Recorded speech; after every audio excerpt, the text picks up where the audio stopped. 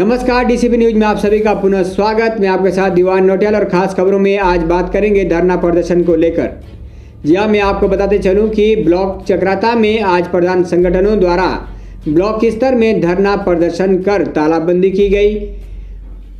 प्रधान संगठनों का कहना है कि विगत एक वर्ष से मनरेगा के तहत मिलने वाली धनराशि प्रधानों को प्राप्त नहीं हो पाई है, जिस कारण से ग्राम विकास के सभी काम रुके हुए हैं।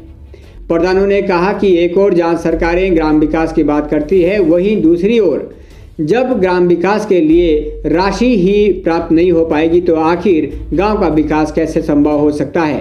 प्रधान संगठनों ने कहा कि इस धरना प्रदर्शन के संबंध में पिछले दो तीन दिनों से संबंधित अधिकारियों को अवगत करवा दिया गया था, मगर किसी तरह की कोई संज्ञान नहीं लिया गया, जिस कारण कि आज तमाम प्रधान संगठन धरना प्रदर्शन के लिए बाध्य होना पड़ा।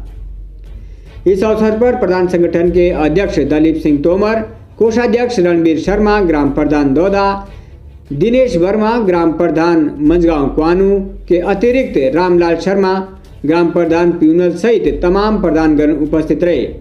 अधिक जानकारी के लिए सीधा ले चलते हैं प्रधानगणों की प्रतिक्रिया की ओर।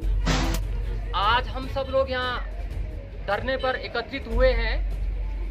एक वर्ष, विगत एक वर्ष से मनरेगा मटेरियल का पैसा हमारे ब्लॉक में नहीं आया है, जिससे हम लोगों को अपने जो वेंडर हैं, उनके साथ तालमेल नहीं बैठा पा रहे हैं, वो हमको मटेरियल नहीं उपलब्ध करा पा रहे हैं, और आगे जो गाँव की विकास, जो प्रांति है, वो रुक रही है। समय समय पर हमको मटेरियल नहीं उपलब्ध हो पा रहा है, और हम लोगों को इससे बहुत दिक्कत आ रही है, बहुत दिक्कतों का सामना करना पड़ रहा है। और हम सरकार से ये गुजारिश करते हैं, जितना जल्दी हो सकता है, हमारी ये जो देनदारी है, इसको चुकता करें, ताकि आगे हम और अपने विकास के पथ पर चल मैं भारत सरकार को ये आगाह करता हूँ कि विगत एक साल से ऊपर समय हो चुका है। मनरेगा में लगभग छह करोड़, साढ़े छह करोड़ की देनदारी हो चुकी है, जो कि अभी तक भुगतान नहीं हुई है। मार्च में आस लगाए बैठे थे लेकिन ऐसा कोई बजट पठानों को उपलब्ध नहीं हुआ है। मनरेगा का जो कार्य है एक और सरकार कहती है कि गाँव को विकास विकसित करें।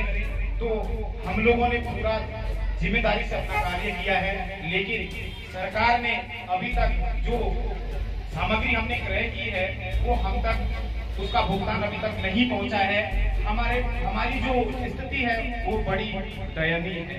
क्योंकि यदि हम वेंडर की दुकान के इर्द गिर्द हम घूम नहीं सकते हैं, क्योंकि वो पैसों के लिए प्रताड़ित करते हैं। यदि हम गाँव में जाएँ तो लोगों को ऐसा लगता है कि प्रधान लोग जो है, पैसे सब अपने थैले में भर चुके हैं। ये उनका अनुमान होता है, हमारी एक स्थिति ऐसी हो गई है, एक मारीच के मरने जैसी हो गई है। क्योंकि सरकार को शायद नहीं लगता होगा कि ये धरती पर काम कर रहे हैं। सरकार को ऐसा लगता होगा कि कागजों पर कार्यरत है।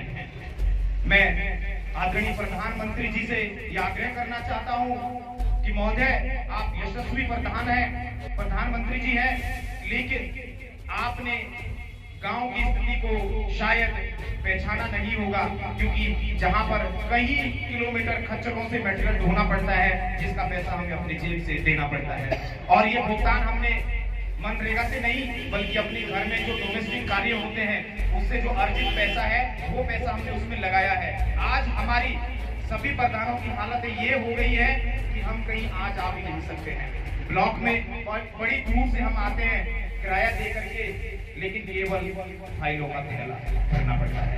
तो ये हमारे सभी संगठन के अंदर रोष है सरकार के प्रति।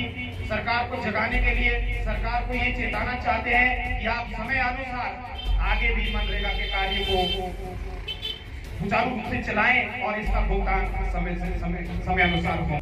तो आज की खास खबरों में फ़िलहाल इतना ही। आगे के लिए बने रहेगा डीसीपी न्यूज़ के साथ। तब तक के लिए हमें दीजिएगा इजाज़त। नमस्कार।